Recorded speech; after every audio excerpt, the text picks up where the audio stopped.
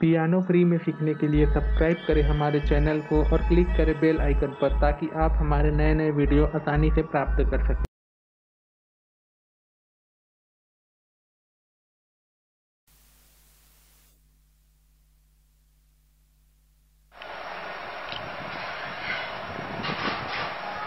Yeah.